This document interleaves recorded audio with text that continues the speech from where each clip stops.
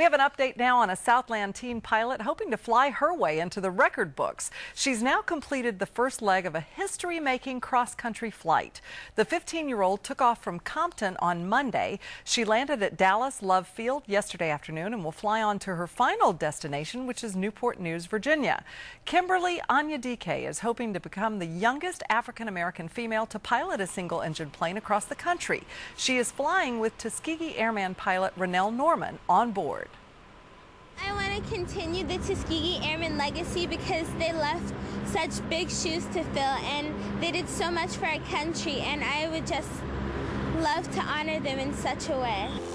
Anyadike and Norman are expected to arrive in Newport News, Virginia on July 4th.